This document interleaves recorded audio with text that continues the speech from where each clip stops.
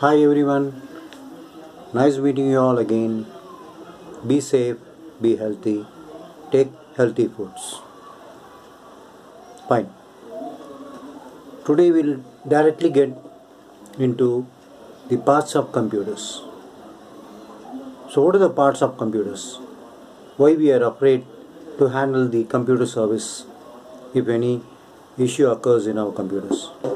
It's very simple the parts of computers is divided into only two. One is physical parts another is logical part. So what is this physical part and what is this logical part? Physical part is nothing which you can touch and sense it.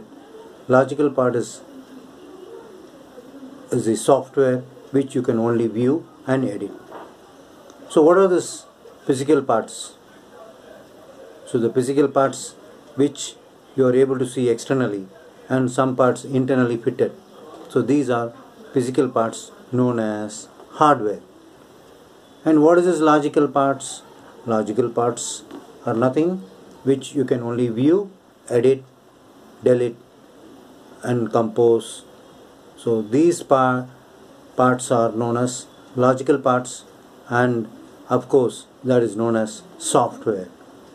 So remember your body is your hardware and whatever voice you are able to view your mind thinking everything is software which nobody can sense it or nobody can touch it. So just remember like how a computer is made it's only by a human being which they observed and made it. So that's my assumption. I'm not sure about it. Fine. So you have two types of electronics parts used in computers. So previously it was analog now it is digital. So what is this analog and what is this digital? So analog parts around uh, 20 years before you could have seen the people who are above 40 they would have seen before in your TV they'll have to go nearby and manually turn off or adjust your volume control. But nowadays you sit in your chair from that from your place you are able to control your uh, TV as well as other electronic devices which is controlled by digital electronics. So you control by a remote device. So this is of course a digital electronics. So instead of getting in depth about your